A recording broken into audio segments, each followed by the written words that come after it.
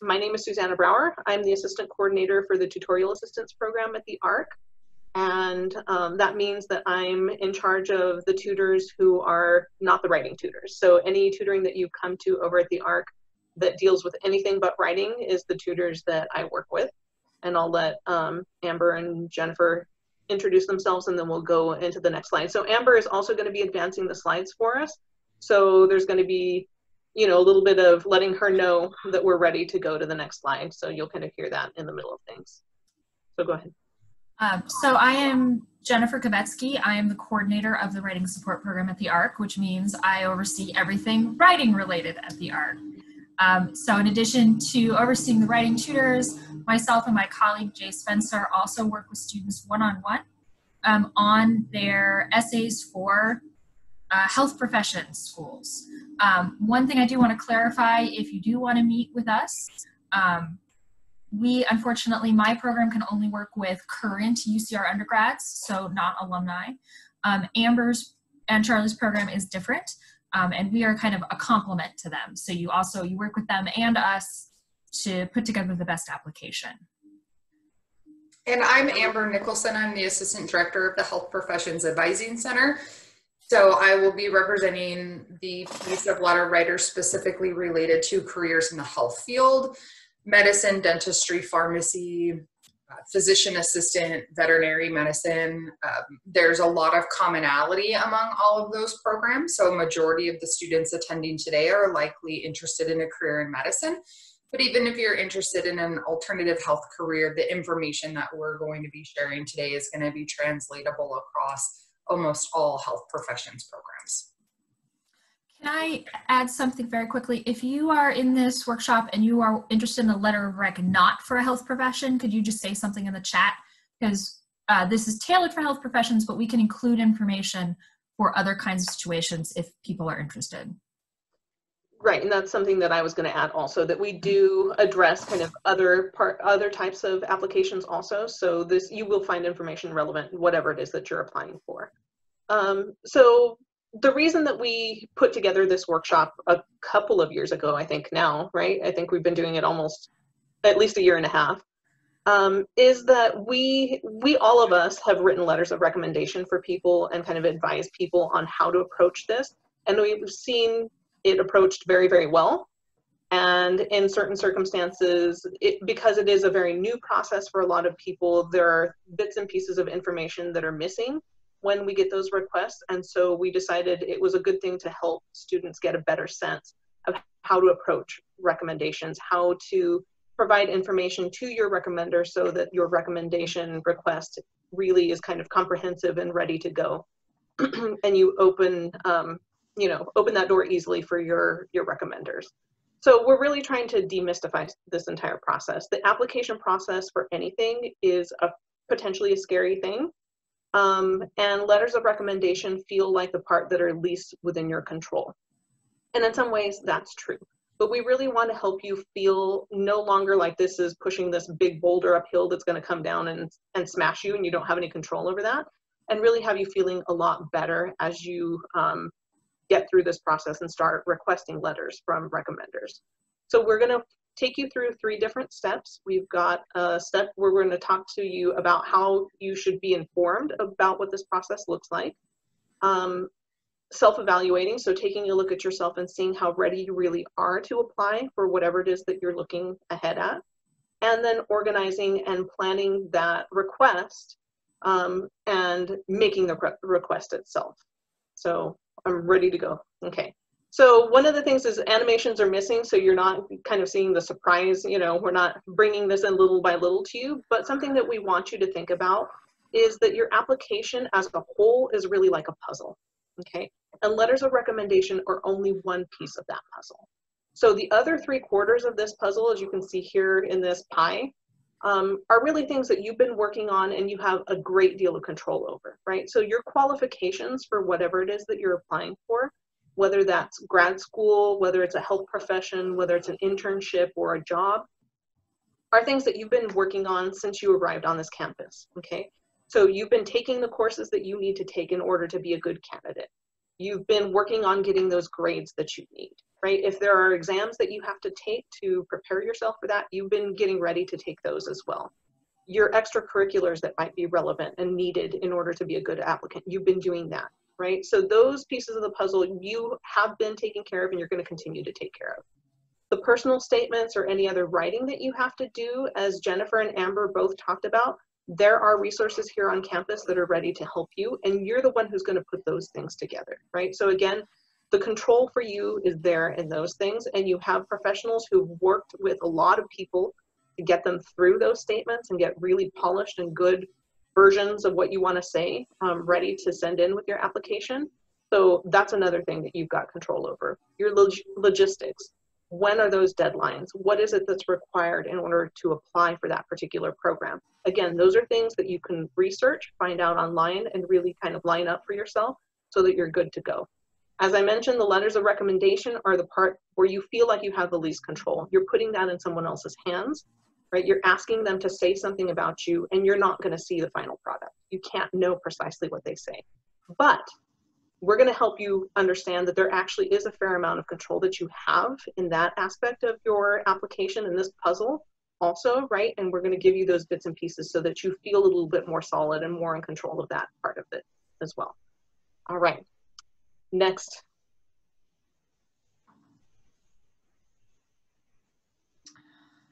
All right, so something applicants often, ooh, there's a lot of feedback. Okay. Something applicants often don't realize is that different kinds of applications have different recommender requirements. Um, and these are not always stated, so we do want to kind of go through them. So first thing really is what are you applying for? Because that's going to have a huge effect on who you ask, right? So if you're applying to grad schools such as master's or PhD programs, um, you're going to want to ask one group of people and we'll kind of get into exactly what kinds of people um, you're going to want to talk to versus professional schools like med school law school internship jobs all of these. So really just kind of what are you applying to? I know most of you are doing health professions in this particular presentation but think about what you're applying to.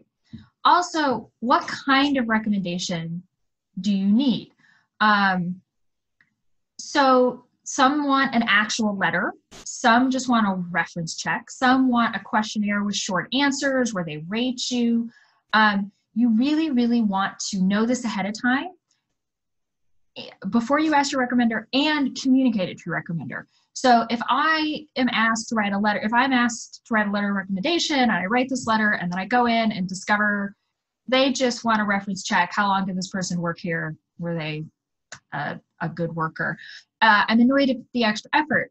Now, if I'm expecting a reference check and the day of I discover I need to write a letter, then that letter's not going to be as good as it could be because I didn't have enough time. So do some research, check this out beforehand.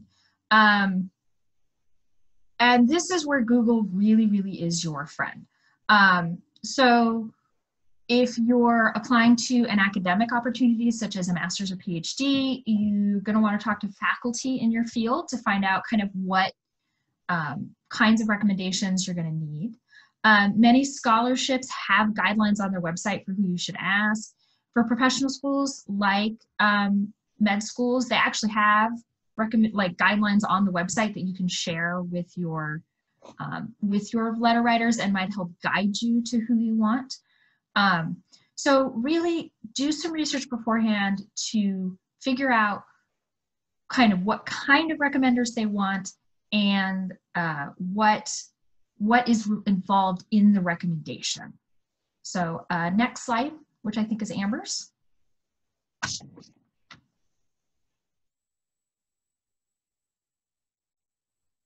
Okay, so the next step to this process is for us to ask you all to take a step back and do a little bit of self evaluation. If you're a pre med student, you know that this is the time where AMCAS is getting ready to open. Potentially, a lot of students uh, in a normal climate would be preparing to take an MCAT exam. And students oftentimes feel that as a junior or as a senior, they need to apply because this is quote unquote the time to apply.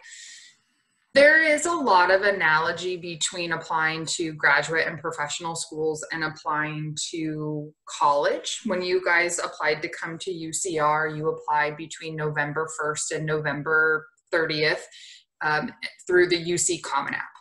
Um, right? You kind of had that one window of opportunity to apply. And if you missed that opportunity, or more likely one of your peers missed that opportunity, perhaps they weren't able to matriculate directly to college, they had to attend a community college or were a transfer student. And so students kind of really uh, continue that analogy, thinking that they only have one opportunity to really apply to a graduate or professional school.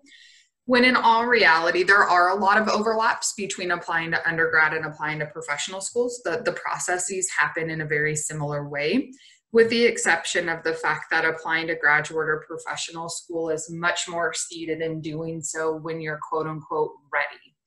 Um, these applications open and close every year, and students, the expectation is really that they apply in an application cycle in which they have a strong and competitive application. We're not necessarily going to get into the extreme details of what that um, quote unquote strong application would look like, but some of that is going to be seated in your academic metrics. So, thinking about is your GPA, particularly your science GPA, in line with the program in which you want to apply to? The average science GPA for medical school is a 3.6. The average science GPA for PA programs is a 3.5. Um, so really kind of making sure academically you're a good fit for programs. Um, it is very expensive to apply. So making sure that hopefully you're not wasting money that you don't necessarily have to spend to apply over and over and over and over again. Um, potentially there might be some exam requirements, extracurricular requirements, um, timeline things. So just making sure that you're well versed on the process of applying and the academic and extracurricular qualifications of applying, meeting with your academic advisor, your HPAC advisor, maybe a PI or a faculty member if you're pursuing a graduate program, a PhD program a meeting with Jen and Jay if you're struggling with your writing to make sure that you are meeting the timelines of, of having a polished personal statement. That's just something that we're asking you to self evaluate on.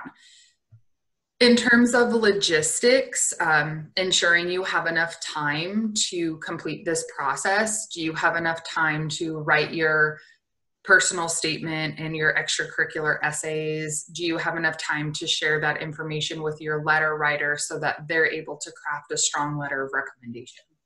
Because you all are attending this session in mid April, um, you, you will definitely have enough time to facilitate an application process that happens in early, late summer, or maybe even into fall. So you all are, are ahead of the game or in the right time frame especially if you're attending this as a sophomore, junior, maybe you're not even thinking of applying for another year, but you just want to have this information in your back pocket to use when needed. Sometimes we do this presentation throughout the summer or fall where students um, maybe might be three to six months already past the start of the application. And, and we need to tell them that although they can apply, maybe it's not going to do their application the best service to apply so late in the cycle, or maybe they think that they can ask for a letter of recommendation five days before the due date. Um, and that's not going to be quite so feasible as Susanna will talk about in a second in terms of timing of all of this stuff. So it's just kind of being aware and self evaluating is a way that you can manage the stress of this process.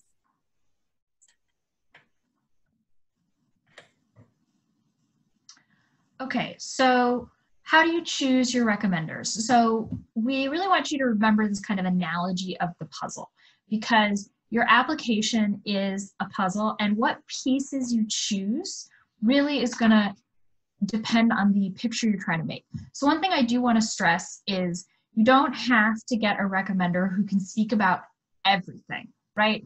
One person is unlikely to be able to speak about your academic ability, your scientific ability, are you a good person, right? I mean, if you have someone who can do that, awesome. But realistically, you don't need that. And having different people speak to different strengths is a really good way to set up an application because each person can kind of focus on something different about you. So kind of think about what does the program need to know about me? What demonstrates that I'm qualified and what helps me stand out? And then who knows me well enough to write about what makes me qualified? So for example, if you're applying for an academic opportunity, so grad school, a summer research, um, generally things with research focuses are going to want faculty to write you a letter because they can evaluate your ability to conduct research, they can evaluate your academic ability, your ability to contribute to the field. So I supervise, Susanna and I both supervise tutors at the ARC. If one of my tutors asked me to write them a letter of recommendation, I would not be able to speak about their academic ability because I haven't taught them, right? I, I hope they do well in class, um, but I can't evaluate that. Um, so, but if you think about other things, so professional programs may want to mix, right?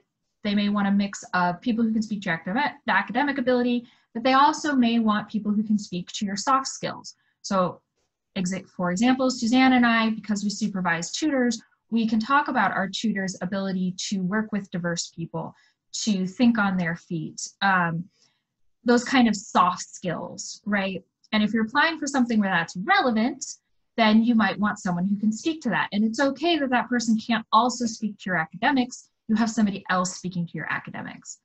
It's worth noting, by the way, that some fields, including um, especially medicine, but health in general, have very, very specific guidelines about who you can ask. So when they say faculty, sometimes they mean faculty that taught you in a class versus faculty that supervised you in a lab. Um, so definitely do your research. And if you have questions about that, Amber can speak a little bit more about it. But just making sure kind of you've got that. Academic programs generally don't care about if the person is class versus lab, just as long as they can speak to your abilities. So internships and jobs, they're mainly going to want work references, right? They may not care that you got an A plus in your senior design class. Um, scholarships are going to vary widely depending on what you're applying for. So if you are applying for a scholarship, look at what the scholarship is. So I work with students who do a public service scholarship. So they often have a letter from a community member. Whereas if you're applying to a PhD in biochemical research, they may be confused if you include a community member letter. Um, one thing I do want to note, so academic programs, PhDs, masters, really don't want references from grad students, even co-written ones. Academia is kind of a snobby place. Um, now, professional schools are different. They're often much more accepting of letters from grad students, especially if the grad student is the one you worked with more closely. Um, they're often much more accepting of co-written letters as well. So again, doing some research ahead of time, which you're doing by coming to this, and thinking about who can best showcase my qualifications for this opportunity.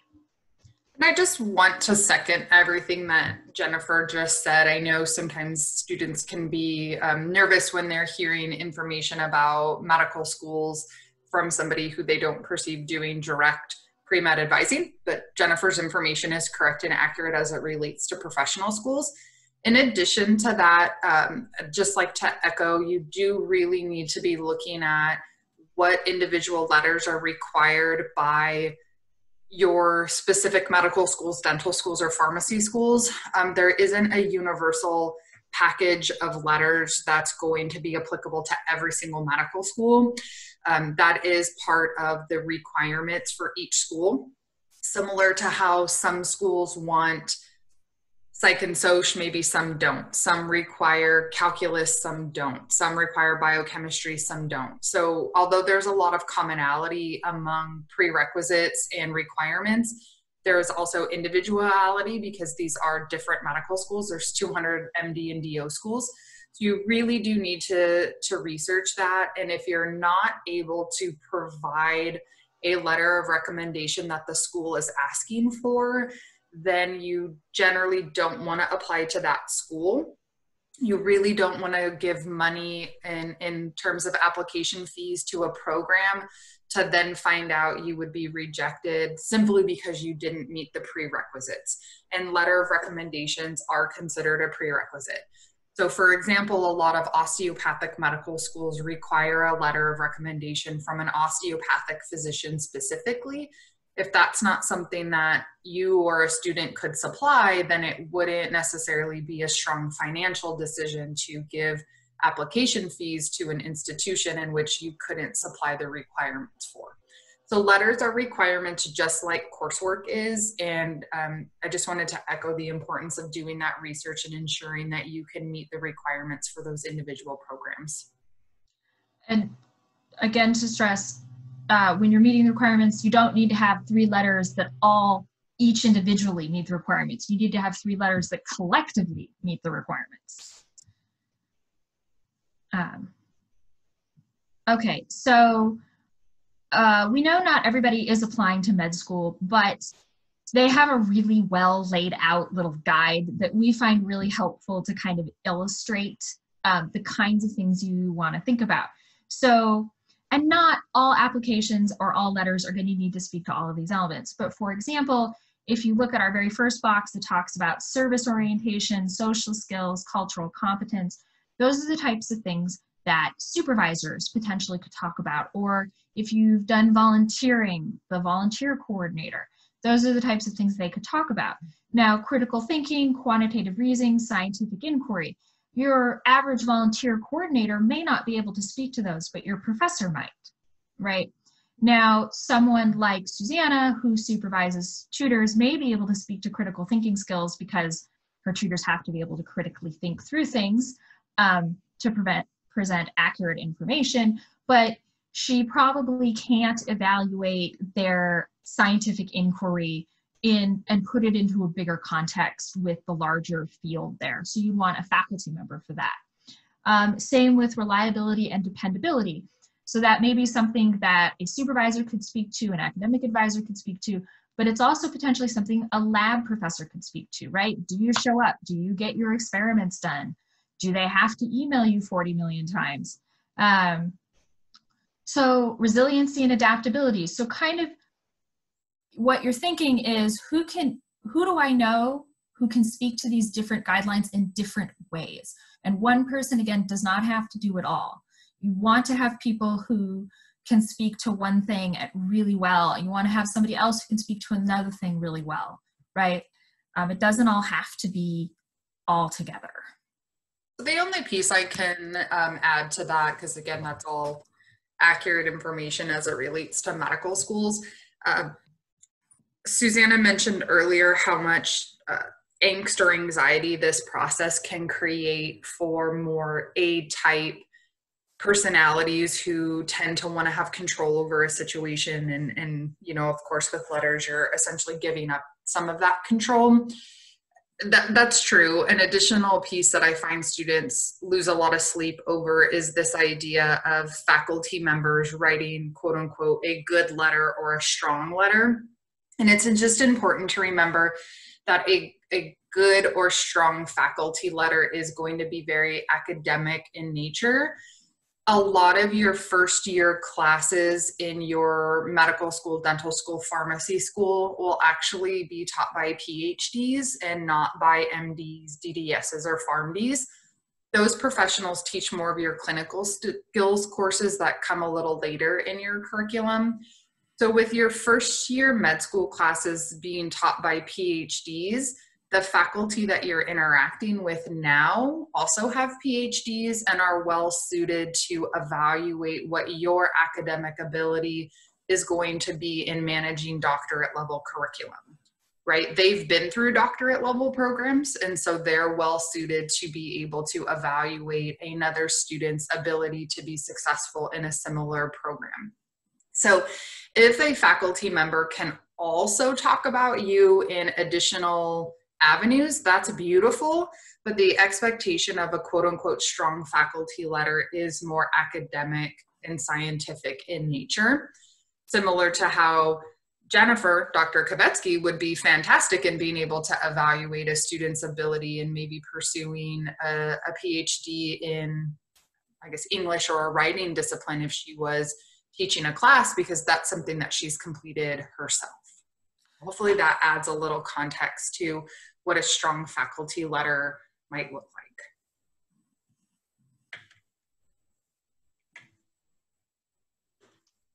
Okay, so as we were talking about at the beginning, um, kind of taking you through the steps of what this application process looks like, before you even make the request for the letter of recommendation, you need to start gathering some information, right? So we talked about getting your information, planning, organizing that.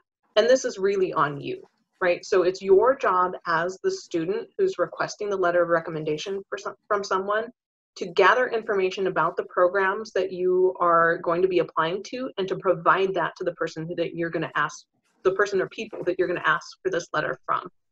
Um, I think all of us, Amber and Jennifer and I, have all had situations where we've had people request letters from us and they give us very minimal information about who that letter is going to be going to. Um, and then perhaps don't respond to emails where we ask for additional information and we end up having to do the research. So really what you need to do as you're applying for these, um, these programs is gathering information about them. You want to have, and you can create a spreadsheet to kind of track all of this information and organize it well, the name of the grad school that you're applying to and the field. So the name of the program, right? So don't just say I'm applying to biochemistry, right? But what is the name of the program at the particular school that you're going to? Um, if it's a professional school, you can just say the School of Medicine. If they have an additional name, if it's more than that, provide that information to your recommender. Um, you can find this information on the program's website. You can look at their about information. You also want to look more deeply and see, as Jennifer was alluding to earlier, what type of recommendation they're wanting. So if it is a professional school, you are going to be looking for a letter of recommendation. But as we were mentioning, if you're applying for an internship or maybe even grad school, it could be that you're going to have to, your recommenders are going to um, fill out an evaluation online, right? And it's just clicking boxes and saying how much they agree or dis- don't agree with particular criteria or how well they can evaluate you on those things. But you need to find out that information. It should not be your recommender who, as they're working on this, they discover, as Jennifer was mentioning, on the day that they go to turn this in that they actually needed to do less or more work than what they were ready to do. You also want to gather information on how that letter needs to be submitted. So is it going to be sent through email? And if it is, then you need to get, if it's available, the contact name, so the person that that email is going to go to, and their email address, and you need to provide that to your recommenders. Is the program going to create a link the moment that you input information about who your recommenders are. So the professional schools do this, right? So AAMC is going to, through their AMCAS portal, generate a link that goes directly to your recommender and they'll just click on it and submit your information. Are you, as an individual, deciding instead to house your letters in Interfolio so that you can kind of grab those letters and send them on to your recommenders. That's an option. I believe um, it's a paid option though, and it's not required. You can just use the portal link and just have those letters um, go directly to, into the portal. Or is your letter going to have to go through the mail? And in some programs, this is still the case, right? So as Jennifer can tell you, um, snail mail is required for some um, PhD and grad school programs. Um, and in that case, if if it's true that your recommender is going to have to send a physical letter in the mail, you actually need to supply them with the envelope and that needs to be pre-addressed to the place that it's going to and with a stamp on it, right? So we used to have a little acronym for this for pre-addressed pre stamped envelopes. Um, do you want to add anything about that, Jen? Or did I get it? I think I must have gotten it. So the final thing that you must supply is give a deadline for the letter, right? So sometimes that deadline is the same as the application deadline. Sometimes there's a little bit of extra leeway for your recommender. So you wanna let them know, does it need to go in at the same time that your the rest of your application materials go in or can it go in on a slightly different timeline? And make sure that you're paying attention to what time is listed on there also If it turns out it's Eastern time and the impression is that it could be Pacific time, you know, 11:59 Pacific Daylight Time, and your recommender turns in their letter at that time, and it was actually an Eastern time zone that they were running off of, your letter is now three hours late, right? So you want to make sure that you you find out about that and you share that information with your recommenders. And as um, Amber and Jennifer were talking about, and as we showed you on the previous slide, some of the programs will provide letter writing guidelines also. If that's the case, please share that with your recommender. Some of them have seen them often and may be very familiar with them, but it doesn't, it normally doesn't hurt to attach that to the email that you send requesting the letter. Just some additional context about when to submit for medical schools. Um, you don't have to have the actual written letter submitted at the time that you apply. You do need to include the letter writer's name and contact information in your application. So you have to have identified who the letter writer is. But your letters will likely be submitted about a month or within a month of when you submit your primary application. So for AMCAS, hypothetically, let's say a student, Susanna, is going to submit her AMCAS application July 1st. She would want to speak with Jennifer, her letter writer, and have a conversation with Jennifer about having that letter submitted sometime between July 1st and July 31st. So there, there is a little bit of a buffer time in which letters can be submitted. And this is really genuinely, authentically a conversation that you need to have with your letter writer. Um, once a letter writer has agreed to write you a letter of recommendation, a lot of what happens after that is something that's more of a conversation individually between you and the letter writer, which I think kind of segues us into that next slide. I wouldn't necessarily tell a letter writer um, a deadline that they must follow for at least medical schools. If this is for a program that does have a firm deadline, obviously the letter writer needs to be aware of that. But when it relates to graduate and professional schools, um, it, it's more of a conversation that you and the letter writer will make a decision together on a timeline that makes sense for your application. So I try to approach that as more of a conversation between you two, as opposed to you dictating to the letter writer what they must or must not do. Okay, so now we're to the point where we're talking about making the request itself. So we're going to give general guidelines in this slide, but one of the things that we want to mention is that every recommender is going to have their own preferences and their own requirements, right? So if you're in a class with the person that you're going to be approaching for a letter, you need to pay close attention to whether or not they are sharing guidelines and expectations with you, right? And that could be that during a particular class, they address this question. It could be that it's shared in their syllabus. It could be that they post it to iLearn, right? Or you've had a conversation with them otherwise and you've become aware of what their preferences and their requirements are for a letter. So always check with your recommender, pay attention to what they've told you and go with that. If you have some doubt, ask them, okay? If you're gonna be asking them for a recommendation, you put yourself in a vulnerable place anyway. Asking them for the specifics of what they want is only gonna paint you in a better light, right? That's gonna put you in a position where they're looking at you and saying, okay, this person wants to be sure that they're really addressing my needs and kind of making sure that I'm not going to be burdened, you know, in any kind of extraordinary way in the process of requesting this letter, right? But generally speaking, we want to remind you, and you know this, professionals are busy, right? Whether this is your faculty member, whether it's a member of the community, whether it's your supervisor, we're busy. We've got a lot to do. You all are busy too, right? But be aware of the fact that you can't spring a letter request on somebody a week or two before it's due. That's really unreasonable.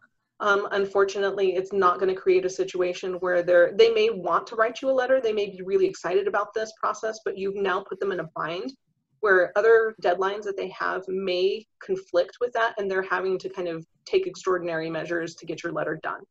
Um, and they may actually refuse it and may not be able to write the letter for you when under normal circumstances, had they had more time, they might have been very happy to do that for you. So give them sufficient time. ask for something or ask about four to six weeks before the letter is needed, okay, before it needs to be submitted. That's going to give them time to write you a good quality letter. Also, don't ambush people. Okay, right now in our remote circumstances, ambushing looks a little different than it does when we're on campus. But we're, what we're talking about in an on-campus situation is don't rush down to the bottom of the lecture hall at the end of the lecture and while the professor is surrounded by other students and they're talking about what happened in the lecture and answering questions, say, oh, Professor so-and-so, will you write me a letter of recommendation? And then get a quick yes or no and run off, right? That's not the kind of thing you want to do. You also don't want to like jump into the middle of um, office hours and just peek around the door and ask really quickly if you if they can write you a letter of recommendation.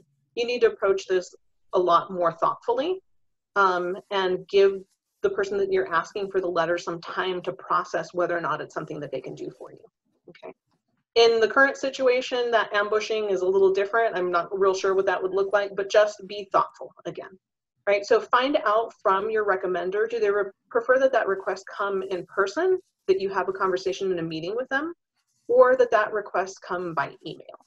Um, I kind of like to have both if possible, especially for something like med school, because I want to have a sense of whether or not the person that is applying um, why they're wanting to do that, right? So why is it that medicine in and of itself is something that they want to go into?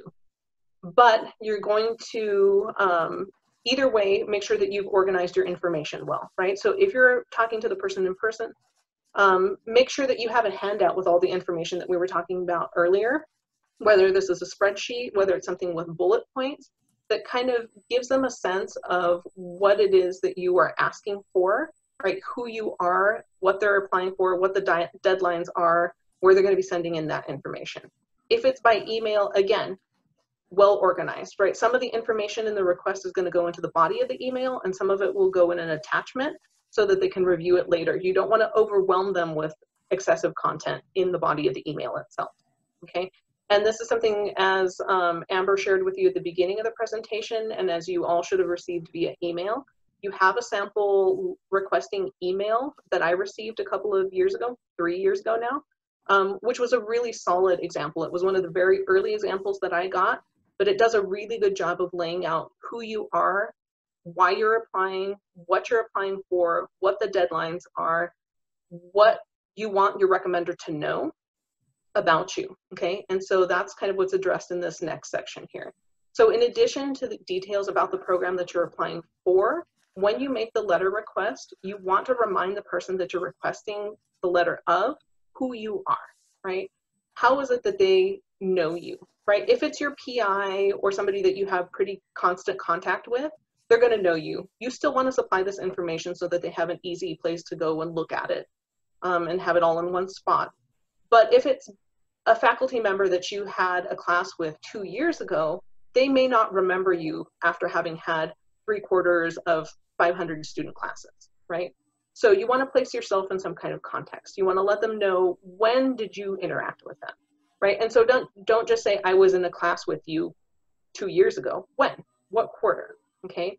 If you work with somebody, so Jennifer and I and Amber also, who has her um, HPAC ambassadors, um, student ambassadors, we don't deal with 500 students at a time, but we work with enough students and there's enough of a turnover that if you tell me you used to work for me, I'm going to probably remember you, but I may not remember when you started to work for me.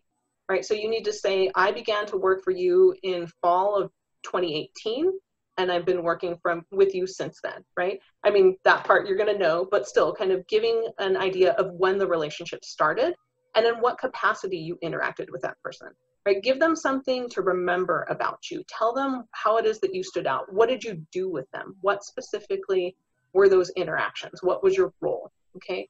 And another thing that you want to include in that request in that email or handout or whatever it is that you provide to your letter writer is some pointers that you would like their letter to touch on right? So one thing that we've talked about repeatedly and we really want you to hang on to is that your letter is part of a puzzle, right? And so you have somebody else creating this piece of the puzzle, but if you can give some context, right? And so additionally, if you can give a draft personal statement or a finished personal statement or your resume and CV, we as letter writers then can take that information and the information that you supply us in those requests um, in the email itself and formulate a letter that complements how you're talking about yourself already, right? So we're going to take the time to take that information and say, okay, so they're saying these other things about themselves in their personal statement.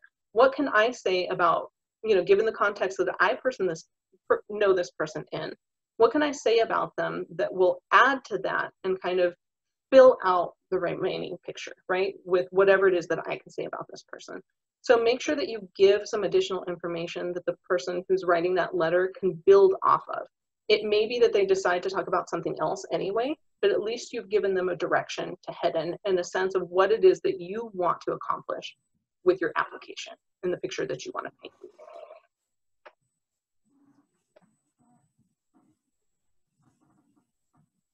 Okay, so now you're getting close to the end, right? You've identified what programs you're going to apply to, you've looked at the requirements, you've decided who you want to ask for letters, you've had a conversation with that letter writer about if they can write you a strong letter of recommendation, what they might need from you to be able to facilitate that process, when the letter will likely be submitted. Um, that all is, is conversations you're having on an individual basis.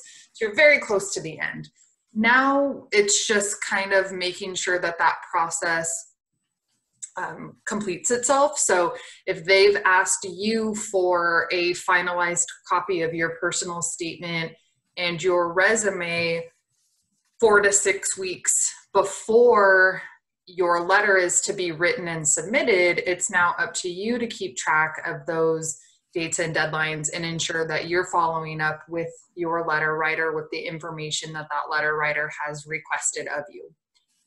Now, that's stuff that you all have control over, so likely won't be causing you too much anxiety.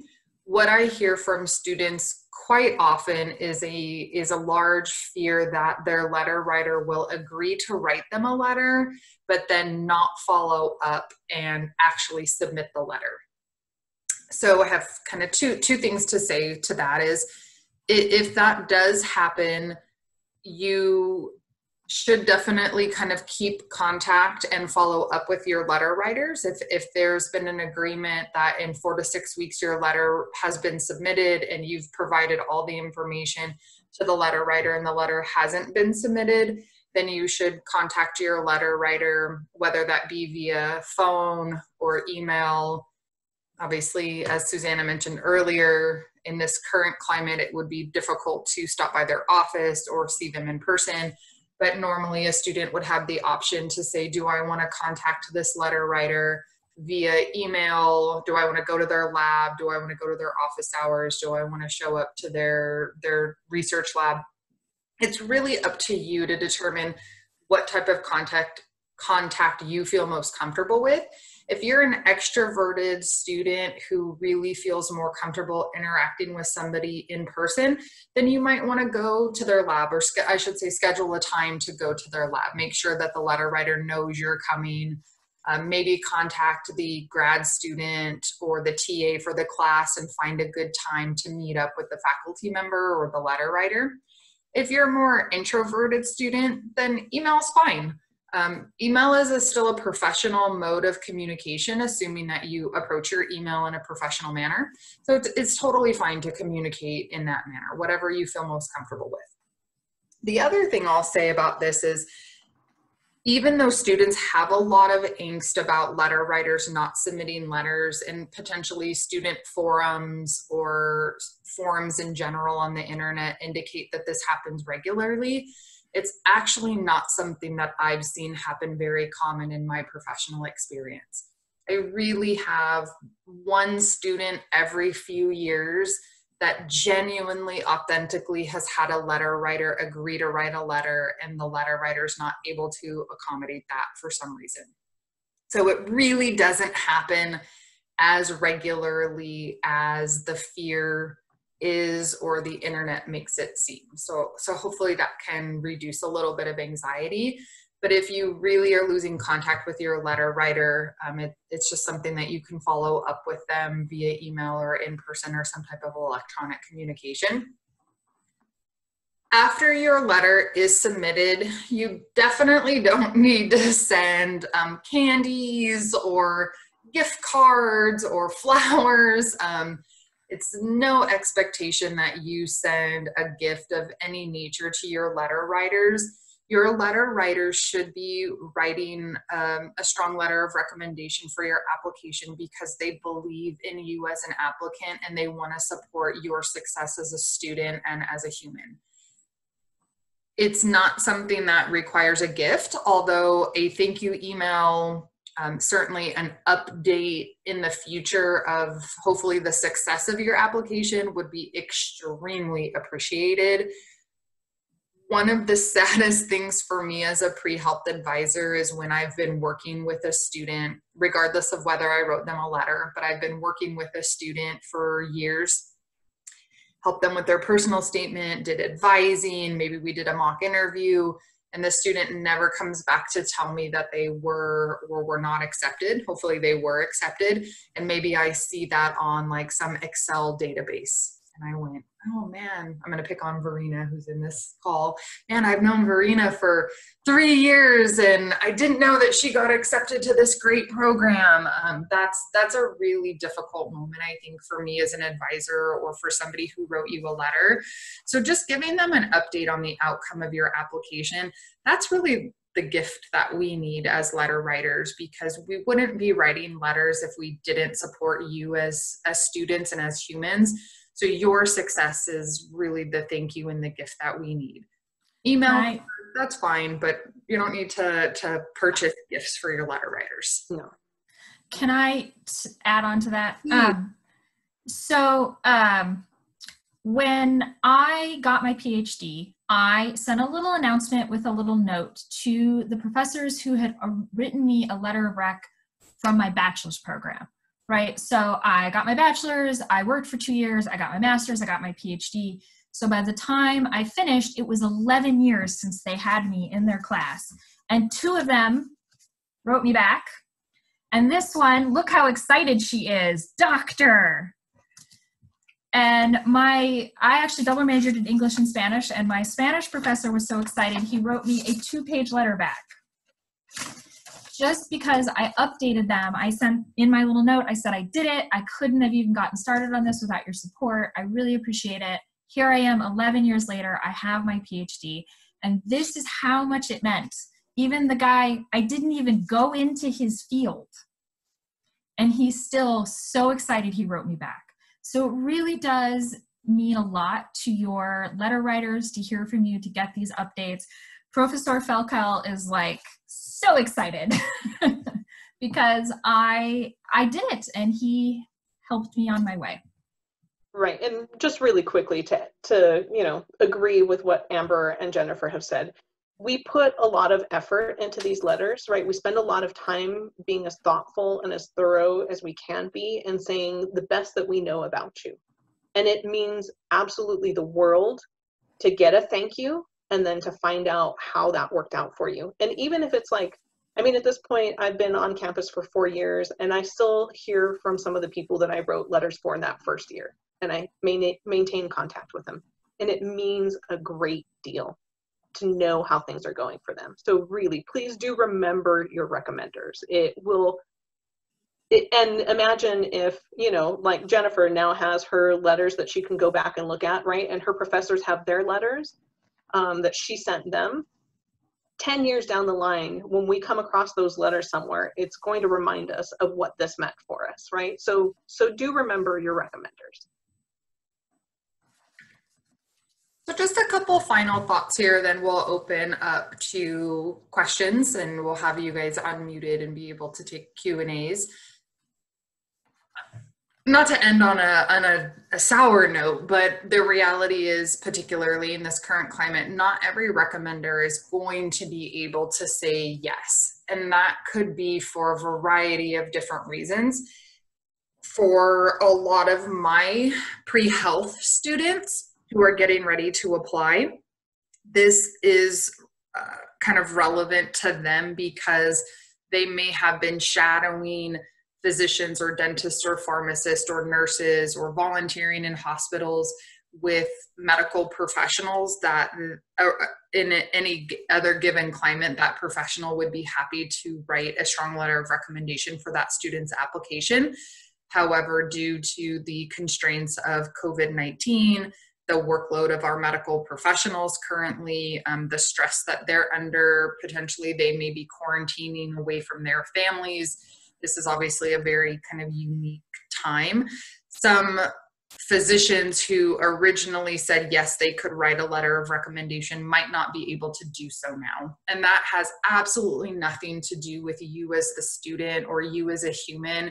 It very well just may be the circumstances that we're currently living through. We're all living through history right now. And so this is pretty unprecedented territory and a lot of things are going to change so having a backup plan is always a great idea not all medical schools require letters of recommendation from physicians, and so you may be able to supply an alternative letter of recommendation. Um, some faculty members on campus, particularly those that have extremely heavy teaching loads or may have primary teaching loads, might not be able to accommodate writing letters for every student that asks or every student that that person may want to write a letter for. So it might not have anything to do with you as a human or as an applicant. They may just have already overextended themselves in their ability to write letters, right? Some of our faculty are writing 30, 40, 50, 60 letters. And so adding to that just might not be realistic for their workload. So having a backup plan is great, knowing additional professionals and academics who can support your application, maybe adjusting your school list to accommodate schools in which you can supply letters of recommendation for, and even just thinking outside the box. Um, so for many of my students, um, they are highly involved in religious organizations on campus and off campus. And although you might not submit a letter of recommendation from a clergy member in a religious context, right, where the clergy member is discussing your relationship with your God. That, that probably wouldn't be appropriate outside of Loma Linda, but potentially a member of your religious organization can write a letter of recommendation about your service orientation, right?